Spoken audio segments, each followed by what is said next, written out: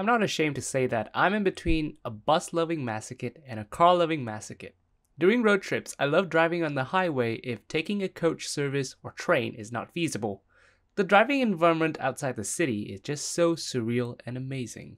But compare that to driving in the city with lots of cars and people, the experience went from very positive to extremely negative. I live in a very car centric country, Canada, and occasionally some of my daily trips involve car trips. Needless to say, I hate driving in the city, especially during rush hours. However, many people around me don't get the concept of driving and commuting by car, so this video is here to differentiate them.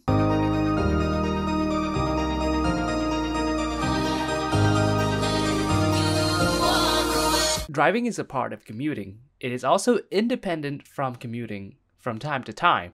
When it comes to commuting, it means traveling from your house to a place on a regular basis. With this definition, commuting does mean traveling to a place frequently, like school, work, or any other location that you visit more than three times per week. Commuting involves multiple modes driving, biking, walking, taking public transit, multimodal, crawling. Is that even a mode of commute? On the other hand, driving is a part of commuting. This is where commuting includes driving. But driving also involves driving out of the city on road trips, driving as a delivery driver, or for other purposes other than going to your regular destinations. This is part of driving where it is separated from commuting. A person can enjoy a drive on a road trip to another town or city because of the landscape, the beautiful roads, or the vibes, which makes them enjoy driving. They love the cars and the environment and atmosphere that the car is put into. In this case, driving is seen as a hobby or something to do during your leisure time, and many drivers are also car lovers. They collect models of cars, they read magazines about cars, attend car shows, happily sharing about their cars, and are really enthusiastic and energetic when they get to share their car knowledge, just like some of us with urban planning. On the other hand, we have commuting by car. This can involve being the sole driver or carpooling with somebody to work, sometimes both. This usually happens at the same time periods throughout the day when commuters leave their home for work and come back home after their workday. This is when the car is not a hobby, it is used as a means of transportation. And to some people, it is their only possible option that can guarantee them jobs, access to employment, education, and other basic needs. Of course, since workplaces and companies start and end their workday at roughly the same time, mostly around the circle of 9 to 5, those commuters leave their homes and offices at approximately the same time, creating increased waves of traffic, and we call that rush hours. This is where things get funky. Traffic starts backing up junction after junction, your car speed is reduced to the speed of walking geese, and emotionally, you start developing mixed feelings of getting frustrated with the traffic and worry or anger that you cannot make it to your destination on time.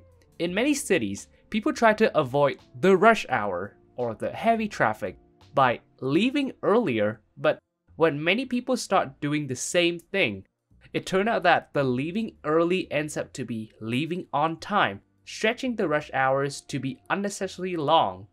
Car commuters don't understand a very simple thing.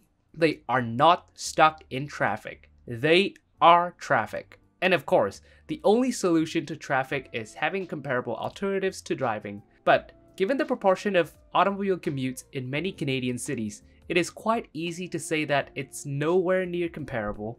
They're slow, they're stuck in traffic, they don't really take you anywhere you need to go, which further adds to the problem of crowded streets and roads with empty buses. This makes people have stigmas against public transit, and some suburbanites even demanded the services to be shut down. Yay, no more buses, and the congestion problem is solved! After comparing these two definitions, do you realize there's a difference between them? There are two things that I believe we can and should all learn from this differentiation. The first one is, if the roads are in good condition and the traffic flow is low, the experience of driving will create joy.